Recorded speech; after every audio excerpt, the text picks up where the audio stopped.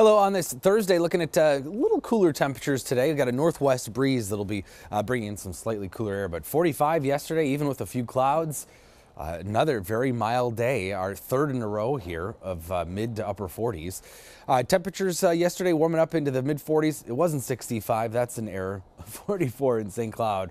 It'd feel nice though, wouldn't it?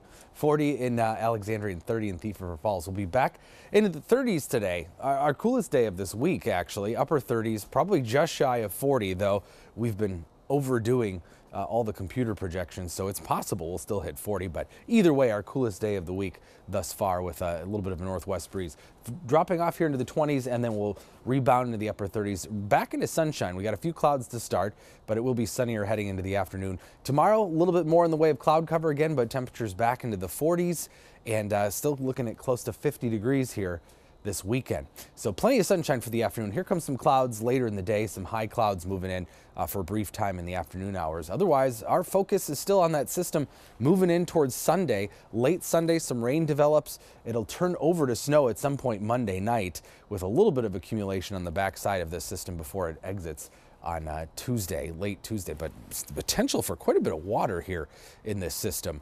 Uh, all said and done, looking at maybe up to an inch of some water. Upper 30s to near 40 today. Temperatures tonight drop back down to the 20s, a little cooler.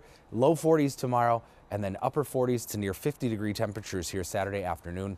Also Sunday, and that is going to be the setup to uh, create mostly some rain here late Sunday into Monday. And again, after dark sometime Monday is when we'll start to see it turn over to some snow, maybe a little accumulation with what's left into Tuesday.